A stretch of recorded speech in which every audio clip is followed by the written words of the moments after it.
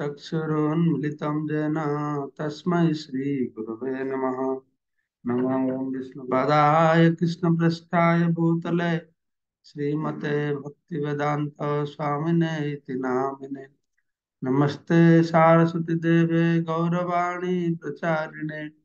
निर्विशेष शून्यवादी पाश्चात्य देशतारिणे वंशाकल्पतरुभश्च कृपा सिन्धु भैवच पतितानां पावनेभ्यो वैष्णवेभ्यो नमो नमः जय श्री कृष्ण चैतन्य प्रभु नित्यानंद श्री अद्वैत गदाधर शिवासादि श्री गौर भक्त वृंद हरे कृष्णा हरे कृष्णा कृष्ण कृष्णा हरे हरे हरे राम हरे राम राम राम हरे हरे मुखम करति बातलं, पंगुलं हैते गिरिं जत्कृपातमहं वंदे।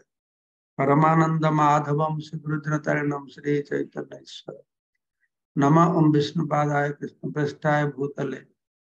श्रीमते जय स्वामी गीता महात्मा गीता शास्त्रम विदम पुण्यम जपटे विष्णुपदम अवापनोति। भय शोकादिवर्जितः हिताधयनशीलस्य प्राणायाम परस्य च। नैव सन्ति पापानि पूर्वजन्म कृतानि च। मलनिर्मोचनं पुंसं जलस्नानं दिने दिने। अकृतगीतामृतस्नानं संसारमलनाशनं। गीता सुगीता कर्तव्या किम नैः शास्त्रविस्तरै।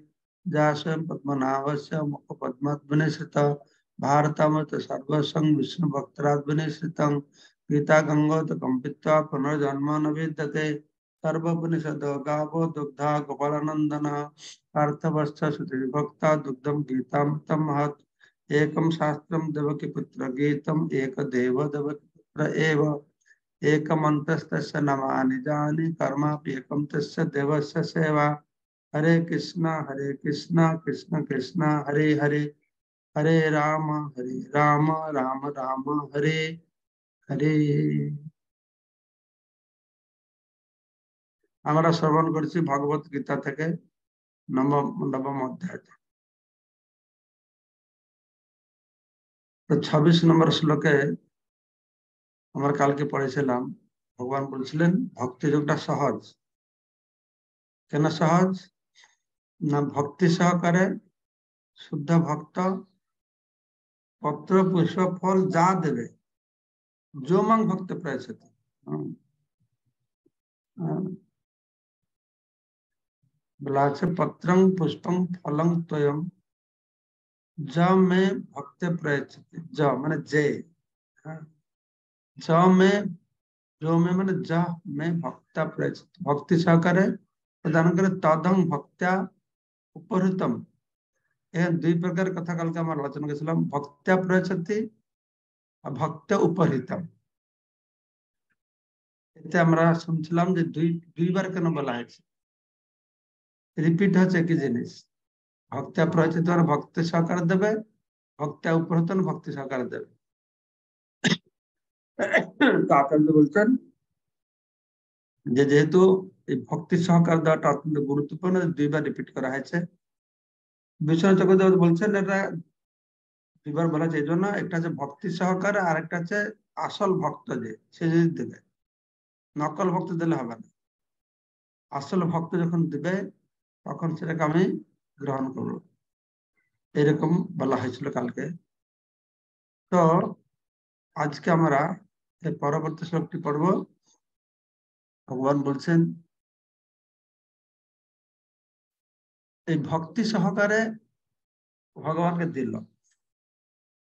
এখনই ভগবান বলবেন যে যা করছ, সেটাকে আমাকে তুমি দাও। যত করসি, যত অসনাসি, যত জোহসি দদাসি যত যত তপস্যসি কন্তে তৎ কুরুষ মতপণ এটা খুব প্রসিদ্ধ শ্লোক। যত করসি, তুমি যা করো, যত অসনাসি, তুমি যা খাও। যত জুহসি প্রভুপাত বলছেন যে তুমি যা দাও জুহসি মানে দাও দদাসি মানে দাও। দুটো একই কথা বলা আছে তারপরে যত তপস্যা যে তপস্যা করো তৎপুর সমাদের বর্ণ কিন্তু অন্য আচার্যরা বিশ্বনাথ চক্রবর্তী ওরা বলছেন যে তুমি যা করো, যা খাও, আর এই জুহসিটা যে যে যজ্ঞ করো বা ত্যাগ করো, এরকম হবে একটা। স্যাক্রিফাইস মানে ত্যাগ করা। তুমি যা ত্যাগ করো, বা তুমি দদাসে, তুমি যেটা প্রদান করো আর তুমি যে তপস্যা করো, সেটাকে আমাকে দাও। এই শ্লোকটা খুব সুন্দর ব্যাখ্যা দেওয়া হয়েছে। আমি কিছু কিছু শব্দ ব্যবহার করা যেগুলো আমরা পরে শুনেছি, সন্নিষ্ঠ, পরনিষ্ঠ নিরপেক্ষ। একটু কমপ্লিকেটেড ব্যাখ্যা দেওয়া হয়েছে। আমি কিছু কিছু বুঝেছি, কিছু কিছু বুঝেনি। তবুও আমরা শুনব। এখন একবার শুনলে হয়তো আর কিছু বোঝা যায়।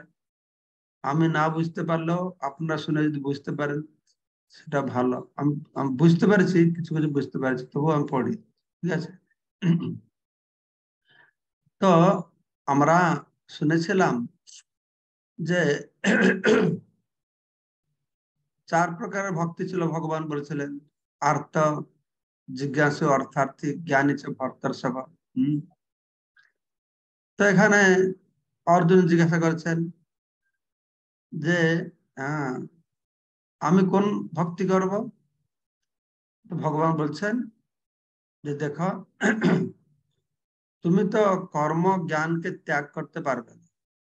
ঠিক আছে? তোমার যা বর্তমান পরিস্থিতি, তুমি কর্মকে, জ্ঞানকে ত্যাগ করতে পারবে। আর একই সঙ্গে তুমি অনন্য ভক্তি বা কেবল ভক্তিও করতে পারবে। কর্মজ্ঞানকে ত্যাগ করতে পারছ না, আর অনন্য ভক্তিও করতে পারছে না। আর কেননা, আর তুমি সকাম হ্যাঁ ভক্তির নিকৃষ্ট। যেহেতু সকাম ভক্তি নিকৃষ্ট। এই সকাম ভক্তি নিকৃষ্ট, কাজটা করা ঠিক না। ভক্তি করতে হবে, তাহলে ভক্তি কীরকম করতে হবে? না, কর্ম জ্ঞান মিশ্রা ভক্তি করে, যেটাকে বলা আছে কর্ম জ্ঞান মিশ্রা প্রধানীভূতা ভক্তি। গুণীভূতা ভক্তি ছিল এটা প্রধানীভূতা ভক্তি ছিল, আমরা শুনেছি আগে। প্রধানীভূতা ভক্তি কর্ম মিশ্রা কর্ম মিশ্রা প্রধানীভূতা ভক্তি, জ্ঞান মিশ্রা প্রধানীভূতা ভক্তি। যেটাকে নিষ্কাম কর্ম বলে বলা ভগবান কৃষ্ণ এখানে বলছেন, তুমি জ্ঞান কর্মকে তো ছাড়তে পারছ না। আর এদিকে অনন্য ভক্তি করতে পারছ না। এদিকে সকাম ভক্তিটা নিকৃষ্ট করা ঠিক নয়। তবে তুমি কি করবে? না, তুমি ভক্তি করো, জ্ঞান আর কর্ম মিশ্র ভক্তি করো। তোমার যা স্থিতি সে অনুসারে। এটা করো। তো সেটা কি রকম সেটা বলছেন যে, তুমি যা কিছু করবে। আগে আমরা শুনেছি, ভগবানকে অর্পণ করা। আগে যা আমরা শুনেছি, ভগবানকে অর্পণ করো, ভগবানকে কি অর্পণ করবে? শাস্ত্র বিহিত কর্মের ফলকে অর্পণ করবে। আমরা আগে শুনেছি না। হম। শাস্ত্র বিহিত কর্মের ফলকে ভগবানকে অর্পণ করবে। কিন্তু এখানে বলছে না, তুমি যা করবে, তুমি যা করো, হম, তো সেটা যেন ভগবানের উদ্দেশ্যে করা যেতে পারে।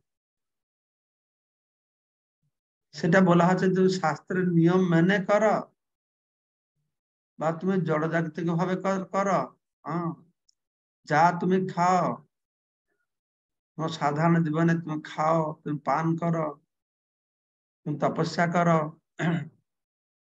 এগুলি হ্যাঁ তুমি ভগবানকে নিবেদন করার, তোমার কর্মফলটা ভগবানকে দাও। তো এটা নিষ্কাম কর্ম নয় কি ভক্তি যোগ নয়? নিষ্কাম কর্ম কেন না না, নিষ্কাম কর্মতে বলা আছে শুধু শাস্ত্র বিহিত কর্মফলটা ভগবানকে দেবে। আমি যা বুঝেছি। লেখা থেকে। এখানে বলছে শাস্ত্র বিহিত কর্ম মানে আমার মনে হচ্ছে যে যজ্ঞ টজ্ঞ সব করবে, এই সব ফল টল মনে হয়। এখানে মধ্যে যে কোনো কর্ম মানে আমরা সারাদিনে দৈনন্দিন যে কর্ম করছে, সেই কর্মের ফলটা আমরা ভগবানকে দেব।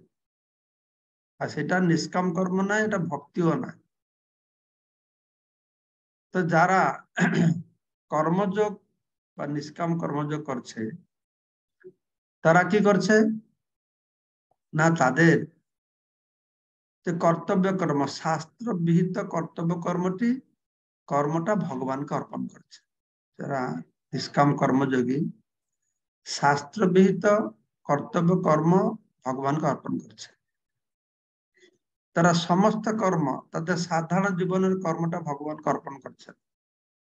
তাহলে এখানে শাস্ত্রবিহিত যে যজ্ঞ, টজ্ঞ এইসব জিনিসগুলো মনে হয়। হম? বেদ নিয়ম, বেদে যেগুলো বলা হয়েছে সেগুলি তার ভগবানকে অর্পণ কর। দেখানো বলেছে, না, তুমি সারা দিনে যা কিছু করছ, তোমার সমস্ত কার্যকলাপ সাধারণ জীবনে ভগবানকে অর্পণ এটাই বলা হয়েছে।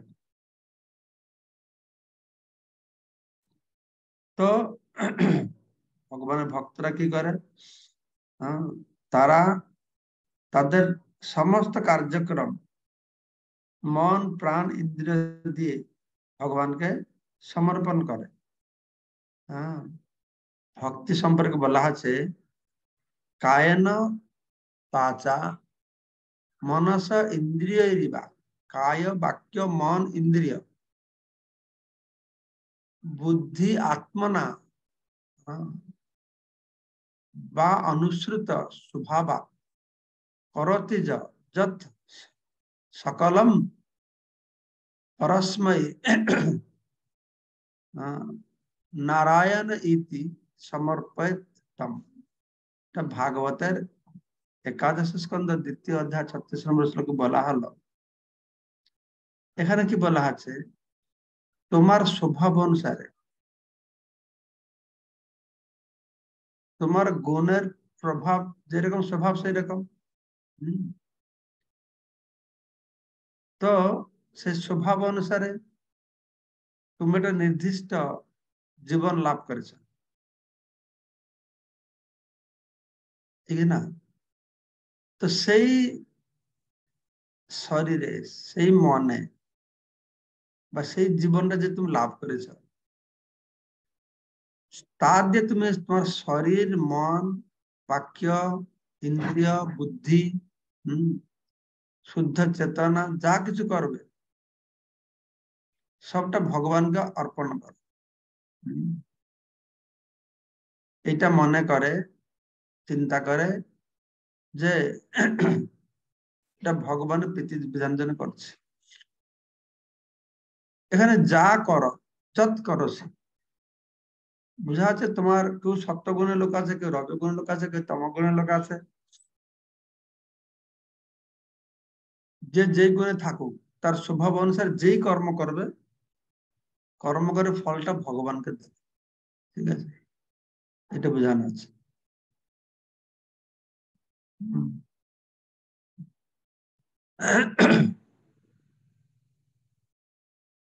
ভগবান তো বলছেন যে ভগবান বলেছেন যে তুমি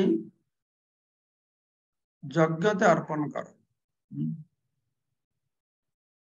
যজ্ঞ হচ্ছে অর্চনা। যজ্ঞ হচ্ছে অর্চনা সেটার ভক্তির অঙ্গ। ভগবানের প্রীতিবিধান হয়। ভগবান যখন বলছেন তপস্যা। তপস্যা মানে কি? একাদশী। সেটাও ভক্তি। তাহলে কি করে? আমরা বলতে পারি এটা ভক্তি নয়। আগে বললাম না, এটা নিষ্কাম কর্ম নয় কি ভক্তিও নয়? ভগবান তো বলছেন হ্যাঁ এখানে জগ তপস্যা তপস্যা তপস্যা মানে একাদশী এটা তপস্যা, এটা তো ভক্তির অঙ্গ। তো সেটা ঠিক। যা করবে, যা তপস্যা করবে যত করসি, যত অসনসি তত জুহসি যে যজ্ঞ করবে, যে তপস্যা করবে, আমাকে অর্পণ করো। তারপরে বলা আছে, এটা কিন্তু ভক্তি নয়, এটা। ভক্তি নিষ্কাম কর্মের মাঝামাঝি হ্যাঁ তো প্রতিপক্ষ বলছে ভক্তি নয় বলে কি করে বলছে তপস্যাকে তো বোঝাবে একাদশী তপস্যা যজ্ঞ হচ্ছে ভক্তির একটা অঙ্গ অর্চনা হম হ্যাঁ সেটা ঠিক হম অনন্য ভক্তি নয় এটা তো কোনটা অনন্য ভক্তি নয়? তা কর্ম করে ফলটা ভগবানকে দেওয়া, এটা অনন্য ভক্তি নয়।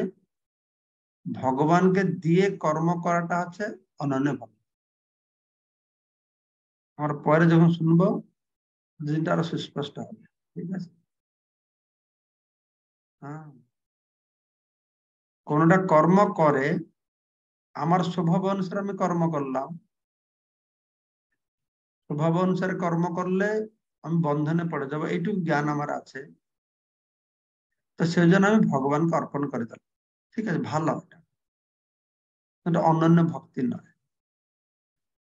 কর্ম করে ভগবানকে দেওয়াটা অন্যান্য ভক্তি নয়, ভগবানকে দিয়ে কর্ম করবে। সেটা তো অন্যান্য ভক্তি, ঠিক আছে?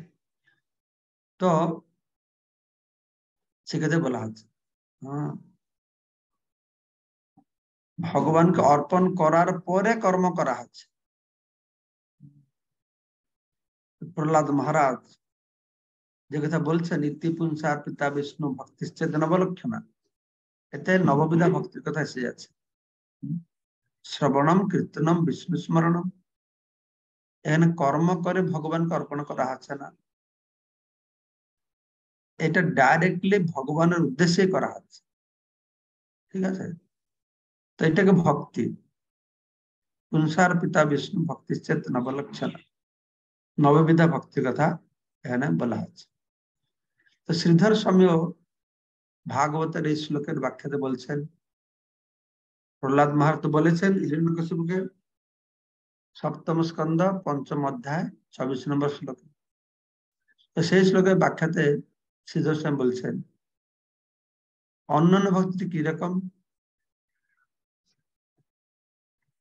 ভগবানকে হ্যাঁ অর্পণ করে তারপরে কার্যটা করা হয়। এইরকম মানে কার্য করে ভগবানকে অর্পণ করা।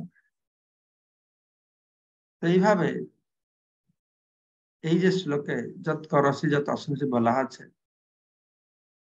এটা কেবল ভক্তি বা অনন্য ভক্তি হতে পারে না। কেন এখানে যা করবে যা করবে, বা সারা দিনে যা করছে আমাকে অর্পণ আমাকে উদ্দেশ্য করে বলা হবে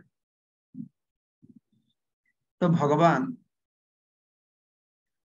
নিরপেক্ষ ভক্তির কথা ভক্তের কথা বলেছে নিরপেক্ষ ভক্ত তারা না সতত কীর্তন্ত মা শ্লোকের মাধ্যমে নিরপেক্ষ সতত সবসময় কীর্তন করবে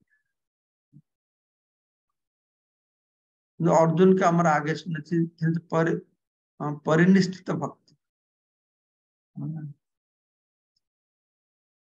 পরিনিষ্ঠিত ভক্তি এখানে যদি কেউ কীর্তন আদির মাধ্যমে ভক্তি করছে তার কর্মফল আমাকেও প্রদান করছে তো উনি বলছেন যে তুমি পরিনিষ্ঠিত ভক্তি ভক্ত পরিনিষ্ঠিত ভক্তি অনুশীলন করছ? তুমি ভক্তি করলেও তুমি তোমার কর্মফল যে ভক্তি কর লোক শিক্ষার জন্য। সেই জন্য ভগবান এইটাকে লক্ষ্য করে এই শ্লোকে বলছেন যে তুমি তোমার দৈনন্দিন জীবন যাপন জীবন ধারণ করতে যা কিছু করছে। আগে বর্ণনা শুনলাম তার স্বভাব অনুসারে সে যা কিছু করে যা কিছু খায়, শরীর ধারণ করার জন্য যা কিছু খায়, যা কিছু যজ্ঞ করে যা কিছু দান করে, যোগ্য ব্যক্তিকে যা কিছু চান্দ্রায়ণ ব্রত ইত্যাদি উপবাস করে তো এটা কি করতে হবে?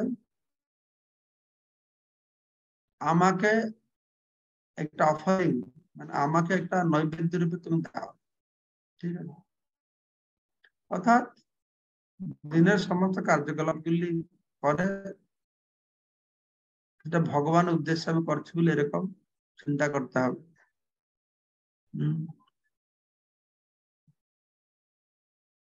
যদি এইভাবে মানুষকে বলা হয়, বোঝানো হয় এটা আমার মনে হয় এরকম হবে। শাস্ত্র নির্দেশ মেনে তার ফলটা কর্ম কর্তব্য কর্মকে ফল ভগবানকে দেবে। এটা একটা নিষ্কাম কর্ম। কিন্তু তারপরে যে কেউ শাস্ত্র কথা বিচার নাই, সে তার গুণ অনুসারে কর্ম করে যাচ্ছে। তুমি শাস্ত্র বিচার না করেও তোমার স্বভাব অনুসারে তুমি কর্ম করো। অন্ততকে সেটা তুমি ভগবানের উদ্দেশ্যে দাও। ঠিক আছে? এটা মনে করে অ্যাটলিস্ট তোমার মনে রাখা উচিত। আমি ভগবানের উদ্দেশ্যে এটা করছি।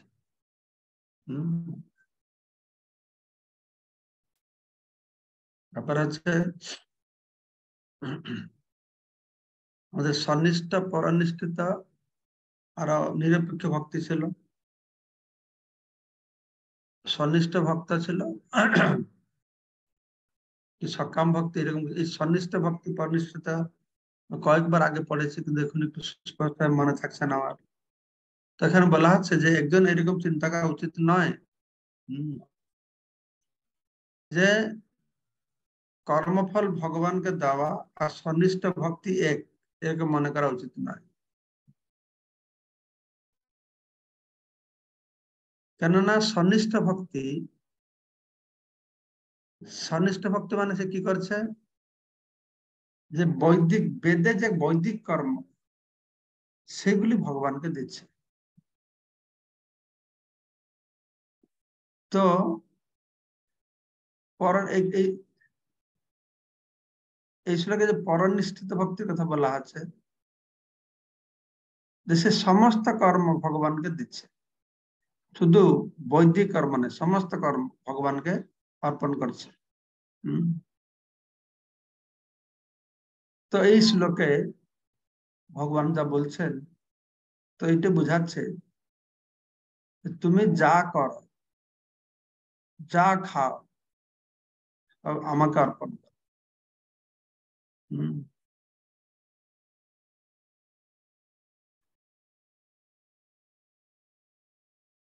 পরনিষ্ঠ ভক্তি কি করে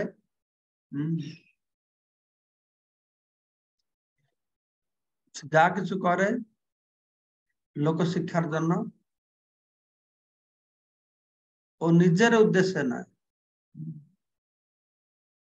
নিজের কোন কামনা বাসনা সন্নিষ্ঠ ভক্তি, বৈদিক কর্ম করে ভগবানকে দে, কামনা বাসনা নেই পরনিষ্ঠ ভক্তি, যা করে ভগবানকে দে, কামনা বাসনা ছাড়া। এইভাবে তারা ভগবানের প্রীতিবিধান করে থাকেন, বলা হচ্ছে। তো সেক্ষেত্রে কৃষ্ণ অর্জুনকে বলছেন যে, অর্জুন, তোমার যা যোগ্যতা, তুমি আমাকে, আমার লীলায় তুমি সাহায্য করছ। তুমি আমার সঙ্গে এসেছ। নীতিবান হিরো তুমি। এভাবে তুমি হ্যাঁ স্বার্থপর, সকাম ভক্ত হতে পারো না।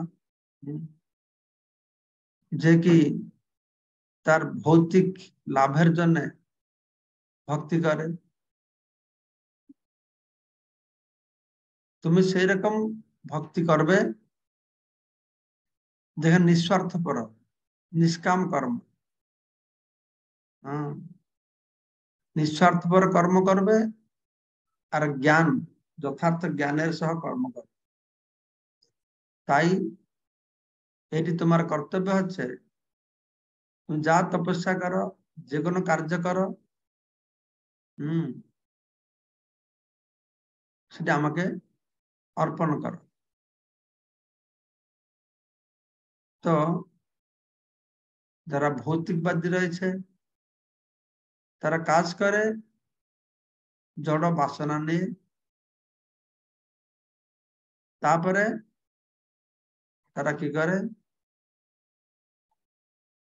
তার কিছু ফল আমাকে দিয়ে দিয়ে এইরকম করা ঠিক না। এটা মানে বুঝাচ্ছে, ভগবানের কৃপা কিছু পেলাম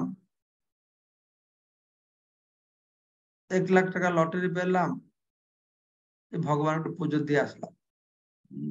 এইরকম একটা জিনিস। জলবাদীরা যেরকম ভগবান ডাকলো, ঠাকুর ডাকলো, কিছু পেয়ে গেল, আর একটা ভগবান কিছু ভোগে লাগিয়ে দিল।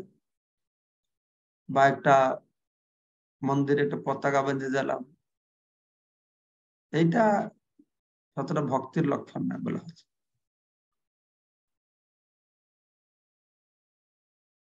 তো এরকম করতে তো এখানে আবার বলা আছে যে কীভাবে ভগবান তো অর্জুনকে বলছেন তার প্রিয় বন্ধু। আর অর্জুনকে বলছেন তো অর্জুনের জন্য নয়।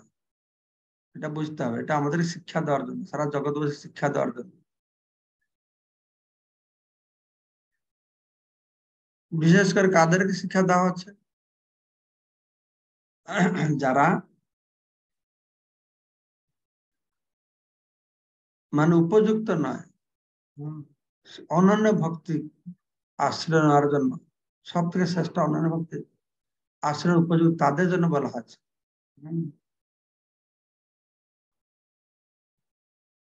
আরও যারা কি করে? হম। তারা যারা অনন্য ভক্তি করতে পারে না, আর এদিকে কি হচ্ছে? হ্যাঁ নিকৃষ্ট ভক্তি করে, করতে চায় না। এই মাঝামাঝি এটা ভগবান দিয়েছে। তাদের ভগবান বলছেন, তাহলে তুমি তাহলে কি করবে না? কর্ম, জ্ঞান যুক্ত করে, নিষ্কাম কর্ম, জ্ঞানের মাধ্যমে করো।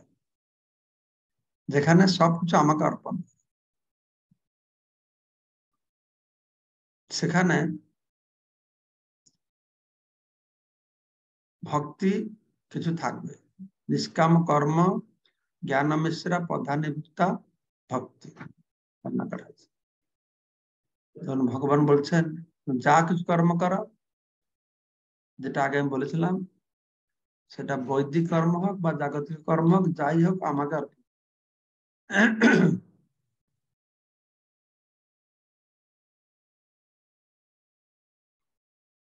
কিন্তু সেটা বলে আমার এরকম বোঝা উচিত নেই, তাও তাহলে আমি যা খাব, যা পান করব মদ খাব, মাংস খাব ভগবানকে অর্পণ করে দেবো। তাতে কোনো অসুবিধা হবে না। মানে মানে এরকম মনে করলে হবে।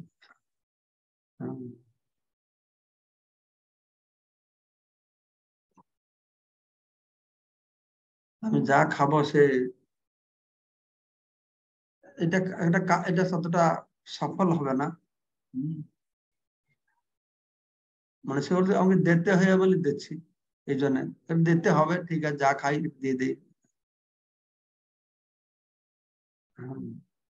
তো একটা বেদে বর্ণনা করা হয়েছে। বিভিন্ন দেবাদেবীদেরকে উপাসনা করবার জন্য। বিশেষ পন্থা দেওয়া হয়েছে। সেটাকে মনে একটা বিশেষ বাসনা রাখে মানুষ করতে থাকে। তো শুধু মানসিক ভাবে শ্রীকৃষ্ণায় হ্যাঁ কৃষ্ণায় সমর্পণ মস্তু এরকম বললে হবে না। হ্যাঁ।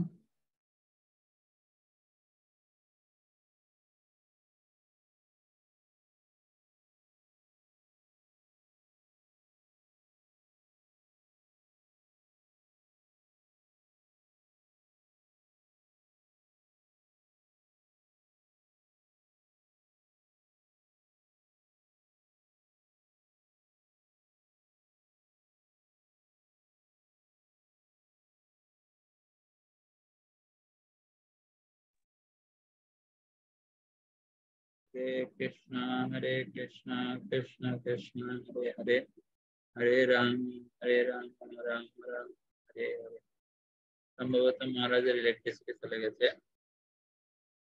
হরে কৃষ্ণ হরে কৃষ্ণ কৃষ্ণ হরে কৃষ্ণ ওটা লাইন কেটে গেল?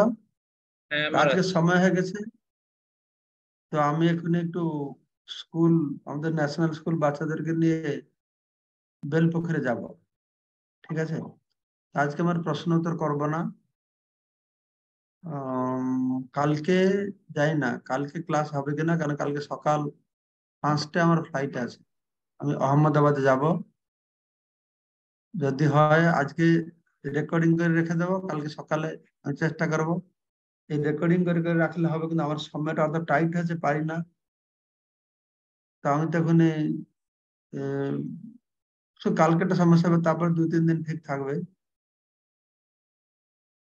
তো আমি হয়তো রেকর্ডিং করে রেখে দেবো কালকে আপনারা শুনবেন সেটা। আর আজকের প্রশ্ন উত্তর করছে না ঠিক আছে মুকুন্দ প্রভু? ঠিক আছে মহারাজ। ঠিক আছে হরে কৃষ্ণ সবাইকে ধন্যবাদ।